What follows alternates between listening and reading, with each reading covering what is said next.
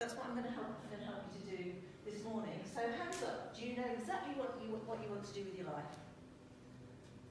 Okay. Two wavering hands. Good. Can you have a star there and a star there and a star there? Uh, I've got three pounds here. Who wants it? Thank you. You're not doing anything about it.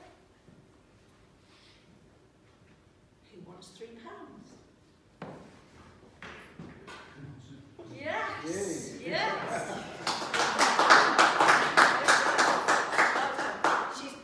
Got off her backside and gone and done something about it, and that's what you've got to do. Yeah? Do you get?